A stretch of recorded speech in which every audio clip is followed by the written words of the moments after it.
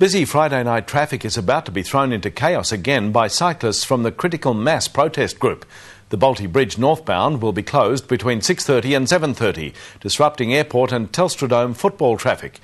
Charles Slade is at Docklands. Charles, what's the latest? Well, Peter, to paraphrase a famous speech, seldom have so few disrupted so many for so little. A few hundred cyclists inconveniencing thousands of motorists for apparently no specific reason. Critical mass will be crossing the Bolte Bridge shortly, oblivious to some stinging criticism. As usual, they started gathering at the State Library at five o'clock. No official spokesperson to explain their motives or demands, just a group of activists rallying to the common cause of cyclists versus cars. Critical mass, it's fun, and let's, lo- let's block the bridge. On the way to the Bolte Bridge, they'll first ride past Jeff's shed to pay their disrespects to the motor show, all done quite deliberately with no identifiable leadership.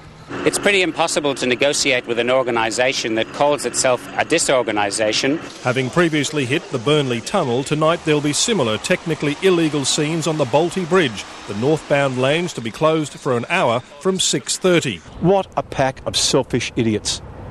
Most of them should get a haircut, have a shower and get a life. Transurban saying arresting individuals would be counterproductive. Would extend the protest and the disruption from the protest by many, many hours. Also, as usual, the police and the state government seem unsure how to tackle the recurrent problem. If the police were to act, it is an operational decision for them. It is, an, it is illegal for a minister or a government to direct them in any way. Fans travelling to tonight's football at Telstra Dome will need to adjust their journeys, as will thousands heading for the airport.